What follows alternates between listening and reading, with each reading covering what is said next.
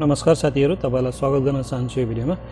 आज फेरि नेप्सेको अपडेटको केही कुरा गर्नेछु म र त्यसको साथमा अब हाम्रो यो अर्थ मन्त्रालयमा फेरि पनि अर्थमन्त्री जनार्दन शर्माको पुनर्नियुक्ति आज पुनर्नियुक्तिको लागि आज शपथ ग्रहण गर्ने कुरो छ होइन? अब आज अब उहाँ फेरि पुनर्नियुक्ति भइसकेपछि यसले बजारमा कस्तो असर पार्ला आज यो कुरो गर्नेछौँ। र आज नेप्से मा नेप्से चाहिँ आज हाम्रो चौन्न पोइन्ट अन्ठाउन्न अङ्क वृद्धि भएर एक्काइस सय पैँतालिसमा पुग्यो होइन? यति आज नेप्सेमा यति वृद्धि हुँदा पनि सधैँभरि वृद्धि भइरहेको सेक्टर फाइनेन्समा चाहिँ किन आज वृद्धि हुन सकेन? सबै एउटा सेक्टर हरियो भयो भने फाइनेन्स मात्रै फाइनेन्स सेक्टरमा चाहिँ किन रातो भयो? यो कुरोहरू विस्तृत चर्चा गर्नेछौँ साथीहरू। अब हामीले के गर्न सकिन्छ होइन? कसरी चल्ने यो कुरोहरू आज डिटेलमा कुरा गर्नेछौँ। अब अब हामीले मलाई चाहिँ जहाँसम्म लाग्छ साथीहरू अब अर्थमन्त्री जनार्दन शर्मा आफ्नो आफ्नो बुझाइ हो होइन? अब पुननियुक्ति भइसकेपछि चाहिँ यसले बजारलाई अझै दरो टेवा दिन चाहिँ मद्दत गर्छ। किन मद्दत गर्छ? भन्दाखेरि चाहिँ फर्स्ट जब उहाँ अर्थ मन्त्रालयमा आउनुभयो आइसकेपछि केही समयसम्म उहाँको बजारप्रतिको थट चाहिँ नेगेटिभ थियो है पोजिटिभ थियो र बिचमा गएर नेगेटिभ हो भन्न सकिन्छ। फेरि अन्तिममा गएर पोजिटिभै भएको थियो उहाँको थट उहाँले सेयर बजारप्रति धेरै कुराहरू सम्बोधन गर्नुभएको थियो। ब्रोकर लाइसेन्स विस्तारको लागि उहाँले सम्बोधन गर्नुभयो र उहाँले धेरै पटक चाहिँ बजारलाई चाहिँ सेयर बजारलाई चाहिँ अलिकति शुद्धिकरण गर्नुभयो भनेर गभर्नरजीसँग पनि कुरा गर्नु प्रस्ताव राख्नुभएको थियो होइन? तर बजार संयोगवश बजार खसिराखेको चाहिँ थियो। अब बजार किन खसेको थियो भन्दा त हामी सबैलाई थाहा छ यो मौद्रिक नीतिको कारणले प्यानिक सेलले यो मार्जिन ल्यान्डिङको सेलले गर्दाखेरि बजार घटेको थियो त्यति बेला। अब त्यो त्यति बेला अब बजार मौद्रिक नीतिको कारणले घटेको थियो। अब त्यति बेला इन्सु इन्स्टिट्युसनल इन्भेस्टरहरूलाई रोक लगाइयो एक्कासी होइन। अब धेरै सेलिङ प्रेसर आएर चाहिँ बजार घटेको स्वाभाविक थियो। तर अन्तिममा आएर चाहिँ अर्थमन्त्री जनार्दन शर्मा चाहिँ बजारपट्टि चाहिँ अलिकति पोजिटिभ भएको कुरो चाहिँ हामीले बुझेको छौँ। अब कसरी बुझ्नुभएको छ मान्छेहरूले होइन। भलाइ उहाँले सबै कुरो जान्नुभएको छैन सेयर बजारको बारेमा तर उहाँको उत्सुकता छ बजारलाई सुधार्नुपर्छ भनेर चाहिँ उहाँहरूलाई सल्लाह सुझाव माग्दै लागेको मान्छे जस्तो चाहिँ मलाई लाग्छ है। र हामीले आत्तिहाल्नु चाहिँ पर्दैन र आत्तिहाल्नु चाहिँ पर्दैन। अब बजारले केही पोजिटिभ बाटो चाहिँ पकड्छ किनभने अब बाटो चाहिँ पकड्छ। किनभने अहिले जति पनि बजारप्रति चाहिँ कस्तो छ भने नकारात्मक नजर राख्ने मान्छेहरू सरकार निकायहरूलाई चाहिँ मलाई जहाँसम्म लाग्छ उपयुक्त सजाय मिलि पनि सकेको छ होइन? उपयुक्त सजाय मिलिसकेको छ उहाँहरू पनिस भइसक्नु भएको छ। र अब कुनै पनि निकायहरूले चाहिँ बजारलाई अलिकति कदरै गर्नेछन् भन्ने चाहिँ मलाई लाग्छ है? र अब अहिले बजार के हुन्थ्यो? अब अहिले जस्तै मौद्रिक नीति यसपालि राम्रो आयो होइन? अब बजार झार्ने अरू कोही नै छन् हेर्नुहोस्। अर्थ बजार झार्ने अर्थमन्त्री होइन जस्तो चाहिँ मलाई लाग्छ मेरो विचारमा है? बजार झार्ने अरू कोही नै को मान्छे छन् तपाईँहरू आफै बुझ्नुहोस् है? अब यसपालिको अर्थ जुन मौद्रिक नीति आयो यो मौद्रिक नीति जुन एक गते सायद एक गतेतिर प्रकाशित हुनुपर्ने हो तर एक गते प्रकाशित भएन यो पोस्टपोन भयो होइन? अब यसलाई चाहिँ प्रधानमन्त्री शेरबहादुर देउवाले पोस्टपोन गराउन लाए एक हप्ता भनेपछि के को लागि पोस्टपोन भएको थियो त तपाईँले आफै बुझ्न सक्नुहुन्छ होइन? यदि पोस्टपोन हुँदैन थियो भने मलाई जहाँसम्म लाग्छ चार बाह्र यथावत रहन्थ्यो चार बाह्र जहाँसम्म मलाई लाग्थ्यो यथावत रहन्थ्यो अलिकति नेगेटिभ चाहिँ भइहाल्दैन थियो। अरू कुरा यथावत भए पनि केही कुरोहरू चाहिँ पोजिटिभ हुनु चाहिँ अवश्य पनि सक्दैन थियो। र यहाँनिर राजनीतिक पक्षबाट नै राष्ट्रिय ब्याङ्कलाई चाहिँ र अलिकति सरकार निकायलाई चाहिँ र सरकार व्यक्तिलाई चाहिँ अलिकति प्रेसर दिएर एक हप्ता पोस्टपोन गराएर भए पनि यसलाई चाहिँ पोजिटिभ बनाउनु पर्छ सकेसम्म पोजिटिभ बनाउनु पर्छ भन्ने पहल भएर चाहिँ अलिकति मौद्रिक नीति अलिकति पोजिटिभ आएको होइन?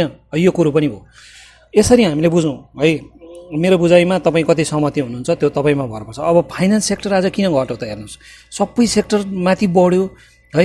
अब यो किन माथि अरू सबै सेक्टर किन माथि बढ्यो त? त्यत्तिकै त अब बजार आज अर्थमन्त्री जनार्दन शर्माको नि यो शपथ ग्रहण गर्ने भनेर त ब्याङ्किङ सेक्टर माथि लानेलाई पनि थाहा थियो होला ट्रेडिङ लानेलाई पनि थाहा थियो होला होटल लानेलाई पनि थाहा थियो होला। उनीहरूले किन यति ठुलो लगानी गरे त आज? भन्दा उनीहरूलाई केही थाहा थियो तर फाइनेन्स सेक्टरले चाहिँ फाइनेन्स सेक्टरलाई पनि थाहा नभएको होइन। फाइनेन्स सेक्टर चाहिँ पहिलेदेखि नै जसले फाइनेन्स सेक्टरलाई लिड गर्नुभएको छ। सरी फाइनेन्स सेक्टरको मार्केट मेकर भनौँ। मार्केट मेकर अलिकति चाहिँ उहाँ चाहिँ वेट एन्ड वाचमा जानुभएको चाहिँ हो। उहाँको डिसिजनलाई गलत भन्न सकिँदैन। अब पहिलेदेखि थाहा छ अब यो सरकारले बजारलाई कति गिद्धेनजरले हेरेको छ। बजार सरकारको कारणले गर्दाखेरि बजार कति धराशायी भएको थियो। अठार सय बत्तिसैमा पुगेको बजार अठार सयसम्म आउनु पऱ्यो भनेपछि उहाँले बुद्धि पुऱ्याउनु भयो कि उहाँ चाहिँ वेट एन्ड वाचमा जानुभयो होइन? बेलामै अलिकति अलिकति गएको जस्तो देखिन्छ। मलाई जहाँसम्म लाग्छ अब जो यो मार्केट मेकरै नगए पनि आज अलिकति चाहिँ मार्केट मेकरले केही मात्रामा प्रफिट बुकिङ चाहिँ गरेको हुनसक्छ। र अरू जति पनि बाहिरी लगानीकर्ताहरू थियो त्यो मार्केट मेकरभन्दा बढी चाहिँ बाहिरकै मान्छेले नै प्रफिट बुकिङ गरेको सानोतिनो लगानी ट्रेड लगानीकर्ताले नै प्रफिट बुकिङ गरेको जस्तो चाहिँ मलाई लाग्छ। एनिवे जे जस्तो भए पनि फाइनेन्स सेक्टर चाहिँ वेट एन्ड वाचमा गएको देखिन्छ होइन। तर अब भोलि यसरी सबै सेक्टर बढिसकेपछि त नेप्सेमा धेरै गुड न्युज छ। र यही सेक्टर फेरि अलिकति यसले रिट्रेस गरौँ है। अलिकति यसले फाइनेन्स सेक्टरको अलिकति हामीले चार्ट पनि हेरौँ होइन। फाइनेन्स सेक्टरको चार्ट हेरौँ। फाइनेन्स सेक्टरको चार्ट हेर्दाखेरि अलिक फाइनेन्स सेक्टरको आरएसआईहरू पनि एकदम राम्रो छ हेर्नुहोस् होइन। माथि नै गइसकेको छ एकदम बुल मोमेन्टम एकदम राम्रो फाइनेन्स सेक्टरमा देखिएको छ होइन।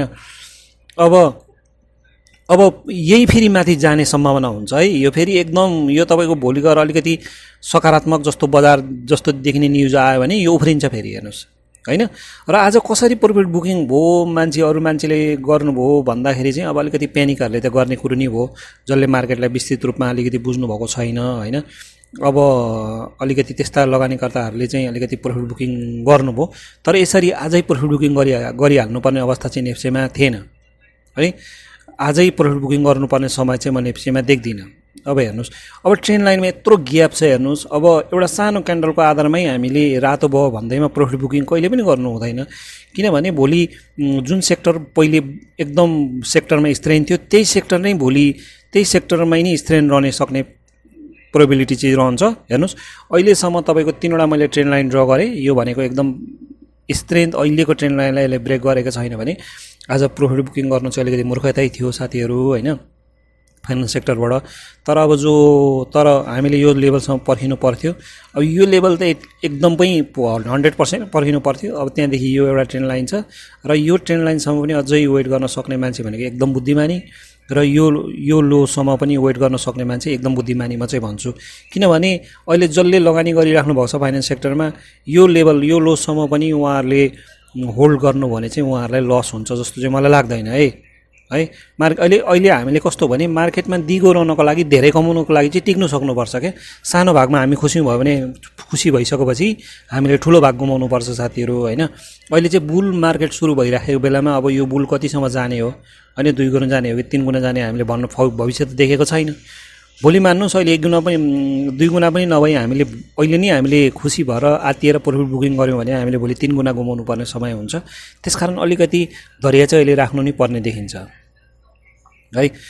अब यसलाई हेर्दाखेरि फाइनेन्स सेक्टरमा आज भोलुम सहितै अलिक ठुलो भोलुम पनि आएको छ होइन? अब यो भोलुमले चाहिँ अब भोलि के गर्छ? अब अलिकति सेल चाहिँ भोलुम हेर्दाखेरि पनि अलिक प्यानिकै सेल देखिन्छ होइन? डिस्ट्रिब्युसनै भयो जस्तो चाहिँ भोल्युमबाट पनि देखिन्छ। तर अहिले नै कन्फर्म चाहिँ गरिहाल्न कसैले पनि सक्दैन है। अब यो चाहिँ भोलिको मार्केट पनि हेर्नुपर्छ अझै यो ट्रेन लाइनसम्म हेर्नुपर्छ। अब भोलि पनि अरू सेक्टरहरू यसरी नै बढिरहेको अब फाइनेन्स रातै भइरहेको भने पनि प्यानिक हुनु हुँदैन। यदि नेप्से अप्टेनमा रहिरहेको छ फाइनेन्स मात्रै यसरी झर्छ भनेदेखि हेर्नुहोस् त्यो कहिले पनि हामी त्यो चाहिँ कहिले पनि फाइनेन्स झरिरहेको छ भन्न सकिँदैन। नेप्से अप्टेन हुँदाखेरि फाइनेन्स दुई तिन दिन करेक्ट भएर फेरि अप्टेनतिर जाने प्रोबिलिटी रहन्छ होइन? सबै सेक्टरहरू बुलतिर लागिरहेछन् भने पहिल्यैदेखि बुल सेक्टर चाहिँ किन बियर हुने त? कुरै हुँदैन त्यो त। होइन साथीहरू? अब आरएसआई हेर आरएसआईबाट हेरौँ है। आरएसआई हेर्दाखेरि आरएसआई हेर्दाखेरि आरएसआई हेर्नुहोस्। आरएसआई यति राम्रो जोनमा पुगिसकेको छ सेभेन्टीमा पुग्यो होइन। अब अलिकति यसमा करेक्ट हुनु स्वाभाविक पनि देख्छु म फाइनेन्स सेक्टरमा चाहिँ।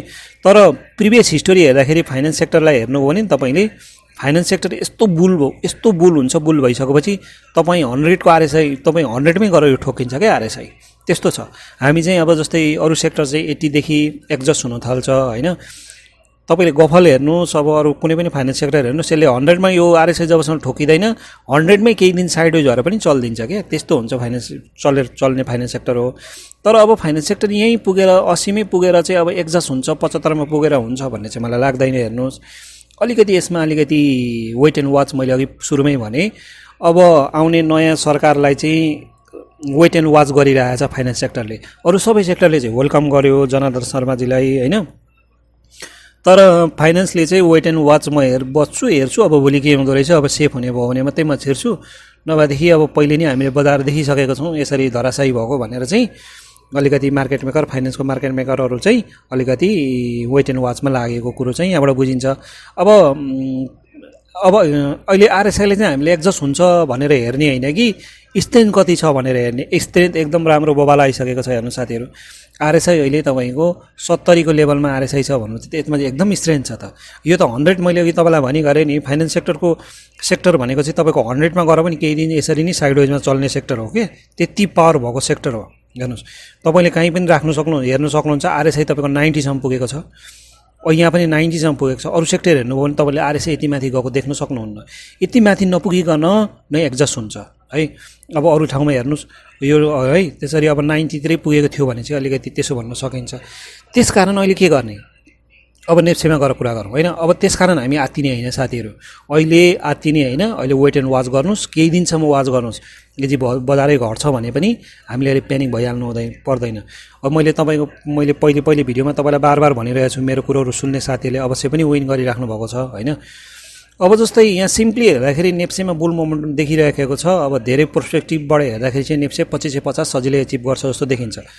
पहिलो कुरो यो डाउन ट्रेन लाइन भयो होइन नेप्सेमा?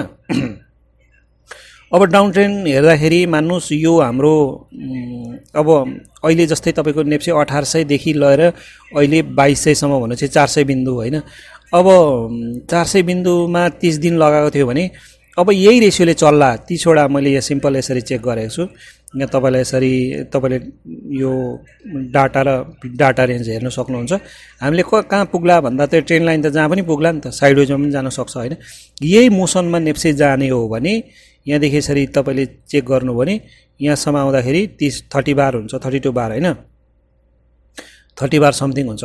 अब यसरी यो ल ठिक छ। अब यही थर्टी बार हेर्नुहोस् हामीले थर्टी टू यही थर्टी बार हामीले यहाँनिर पनि यसरी नै यो अहिलेदेखि लाउँदाखेरि यहाँसम्म आउँदो रहेछ होइन? अब यहाँसम्म आउँदाखेरि भनेको यो नेप्सेको बिन्दु भनेको कहाँ पर्छ त? हेर्नुहोस् पच्चिस सय सतहत्तर समथिङ लाइनमा चाहिँ त्यहाँसम्म रिटेस्ट गर्न जान्छ है? पच्चिस सय सतहत्तरसम्म है? अब हामीले अर्को ट्रेन लाइनबाट पच्चिस सय सतहत्तर भन्छ। अब हामीले बोलिन्जर ब्यान्डबाट हेरौँ साथीहरू। बोलिन्जर ब्यान्डबाट हेर्दाखेरि के देखिन्छ? मन्थली टाइम फ्रेममा बोलिन्जर ब्यान्डबाट हेरौँ त। बोलिन्जर ब्यान्डबाट मन्थली टाइम फ्रेममा हेर्दाखेरि पनि हेर्नुहोस् बोलिन्जर ब्यान्डको मिडल ब्यान्डसम्म त अवश्य पनि जान सक्छ होइन? पोसिबिलिटी हुन्छ त्यतिसम्म चाहिँ। अहिले मार्केटमा जुन स्ट्रेन्थ देखेको छ पोसिबिलिटी हुन्छ। अहिले जुन हाम्रो क्यान्डल बनेको छ अहिले हेर्नुहोस् यो क्यान्डल पनि एकदम बुलिस पहिले जस्तै यहाँनिर एउटा तपाईँको ह्यामर एउटा क्यान्डल बनेको थियो तल गर होइन? अब बियरी सेम यो चाहिँ अब कस्तो भने अब यो अलिकति सुटिङ स्टार टाइपको क्यान्डल बनेको थियो त्यसपछि यहाँनिर मारुबुजु बनेको थियो। तर अहिले जुलाईको क्यान्डल चाहिँ मारुबुजी छैन है। एकदम ध्यान लाएर हेर्नुहोस्। यो चाहिँ ह्यामर टाइपको क्यान्डल बनेको छ। ह्यामर टाइप भनेको एकदम बुलिस क्यान्डल हो। यसले चाहिँ धेरै समयपछि कुनै पनि यस्तो क्यान्डल बनेको छैन डाउन ट्रेनमा। यसले चाहिँ बजारलाई निकै माथि पुऱ्याउँछ भन्ने दम चाहिँ यो क्यान्डलले राख्छ। अब यो प्याटर्न यो प्याटर्न र यो प्याटर्नमा धेरै फरक छ। यो प्याटर्नमा माथिबाट रिजेक्ट भएको थियो होइन? बजार रिजेक्सन भइसकेपछि चाहिँ एउटा क्यान्डलमा तल झर्ला कि भन्ने पोसिबिलिटी हुन्थ्यो भने यसमा तलबाट रिजेक्ट भएको छ भने बाहिर हेभी छन् अहिले चाहिँ एकदमै हेभी छन्। त्यसले गर्दाखेरि बोलिन्जरको मिडल बेन्डसम्म चाहिँ एटलिस्ट पनि यसले रिटेस्ट गर्न जान्छ। भन्ने थियो यहाँनिर आउँदा पच्चिस सय पचास हुन्छ। हेर्दै राख्न सक्नुहुन्छ तपाईँले। बोलिन्जर ब्यान्डको मिडलमा पच्चिस सय पचास होइन। ट्रेन लाइनबाट हेर्दाखेरि पनि हामीले मैले अघि यहाँ भने होइन। डाटाबाट यहाँबाट हेर्दाखेरि यहाँ पनि पच्चिस सय छप्पन्न भनेपछि यतिसम्म बजारले सजिलै एचिभ गर्न सक्ने देखिन्छ साथीहरू होइन? त्यसकारण अहिले चाहिँ हामी आत्तिहाल्नु चाहिँ हुँदैन है? अहिले आत्तिहाल्नु हुँदै हुँदैन साथीहरू है? अब जस्तै अब तर हामीले चाहिँ अहिले बाई गरिराख्ने तर हामीले चाहिँ बाई गर्न डराउनु हुँदैन तर हामीले स्टप लस लाएर चाहिँ हामी चल्नुपर्छ साथीहरू है? त्यो कुरो हो। अब जस्तै अब मैले तपाईँलाई स्टप लस लाएर चल्नुपर्छ होइन? स्टप लाएर चल्नुपर्छ साथीहरू। म तपाईँहरूलाई चाहिँ यहाँनिर अब मैले एउटा सिम्पल अब हाम्रो जस्तै अब स्टप लसहरू गर्ने के छ? सिम्पल त अहिले तपाईँले सबै इन्डिकेटरहरू पोजिटिभ भइसकेको छ। बजारमै इन्डिकेटरहरू मैले देखाइराख्नु उचित सम्झिनँ होइन? तर मैले स्टप लसहरू चाहिँ तपाईँले प्राइस एक्सन अनुसार गर्नुहोस् होइन? प्राइस एक्सनहरू अनुसार गर्नु भने तपाईँले राम्रो विनिङ रेट चाहिँ गेन गर्न सक्नुहुन्छ। किन यो लोड पनि हुँदैन यार। लोड हुँदैछ यो चार्ट। यो फाइनेन्सको हो है यो तपाईँको अघि गरेको थिएँ।